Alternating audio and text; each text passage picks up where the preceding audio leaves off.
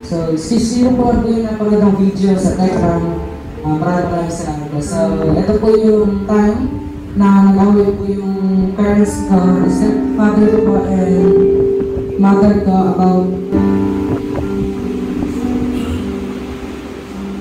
about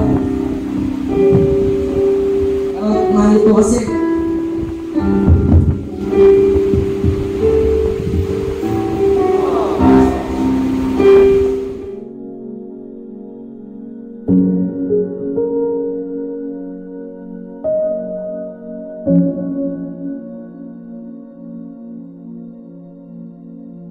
So,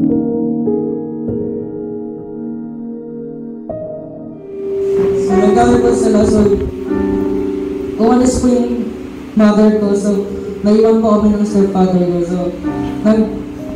So, ako po yung pinagbuntukan po ng galit niya sa away po nila. So, yun. Pinalis po ako. So, kasi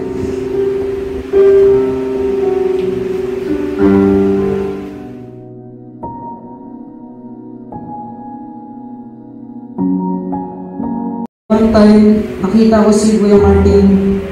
Kasi si Kuya Martin, nandun din po siya na... Nandun din po siya tumatambay pagkatapos po niya magbuhat sa Divisoria. So, tinanong niya ako kung sino yung parents ko. Sabi ko,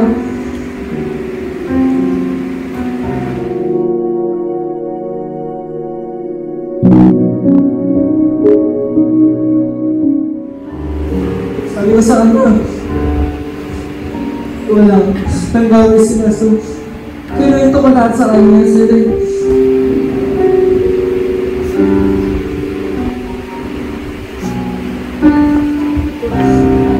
so, tinanong niya ako kung ah, gusto ko sumama sa kanya. So, mo nga ako. So, yun, sumama ako sa kanya sa parola. So, then,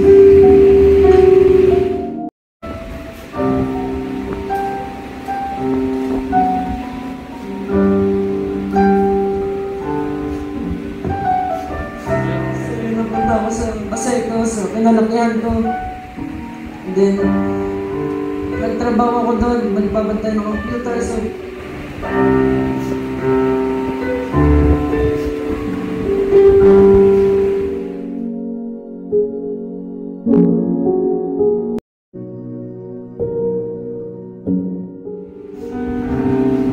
napunta ako sa Divisoria, so yun na nasa Divisoria ako.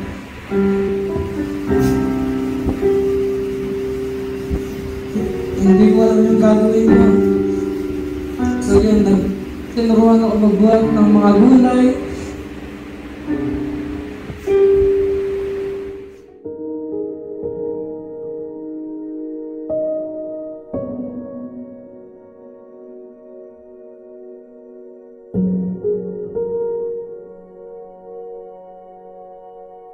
So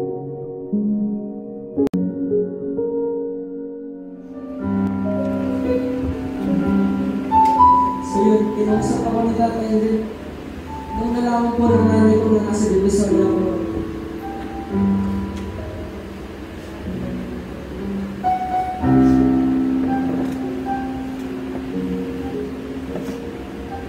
So, pumunta, pumunta sa Divisoria and then tinatagwa ko siya kasi nakapagkakinuha niya naman bukas.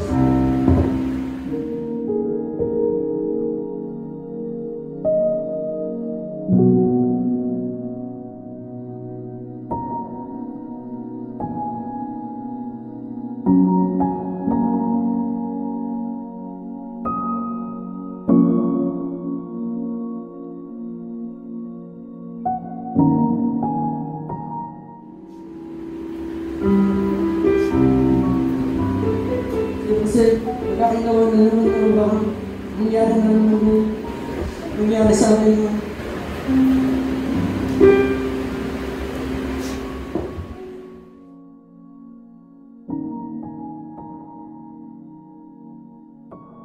sa akin, yung mga tita ko, and yung mga tita ko, pinuntahan nila ako sa Divisoria, so doon na nga, na kita ko si tatay, and pinilit din ako ni tatay na parang sumama sa kanya. Kasi yung lugar po kasi namin doon, parang medyo malapit din po sa vision. And then, kung siguro kung nandun pa rin po ako siguro, para magiging vision ko rin po yung vision yung kasi munti ka na po eh, munti ka na dumating sa point na pag-iinom ako,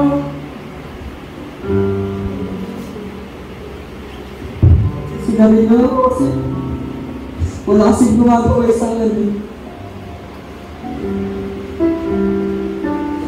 So yun. Pumunta si tatay din sa sinasabi sa amin na. So, parang pinakasama ko din. Gusto niya ipacheck yung sarili ko baka daw kasi may something na hindi daw gumaganda. And then, nagtuloy-tuloy na siya. So, nagtuloy-tuloy na siya. And then, yun nga, nakilala ko yung mga bago kong mga kapatid, yung mga pinsan. Siyempre, may bago din ako kaibigan. Hindi ko pa rin kinakalimutan yung saan ako lumaki, kung saan ako nanggaling. So, nagiging inspirasyon ko lang yun na ba- someday, babalik ako at tutulong ako sa kanila. So, yun. So, may ko pa yung mother ko na na nakita niya yung birthday ko, nandiyan sila pati yung father ko. So, yung father ko, hindi ko siya nakita 13 years. So, 13 years old ako nakita ko siya. Yun, kasi kaya ko pala siya, hindi ko siya nakita nung kasi ang lumaki ako, ang kilala ko po sa kanya is ninong ko. Habang lumalaki ako, ang nakilala ko mga parents ko is mga lola at lola ko. So, yun, nawala sila, parang naging pabayaan din ako sa buhay. Thank you din po kay God kasi kahit maraming taong tumulong sa amin, hindi, hindi ako nagkamali yung pinili. Uh, thank you kay God, so thank you po lang. Thank you po.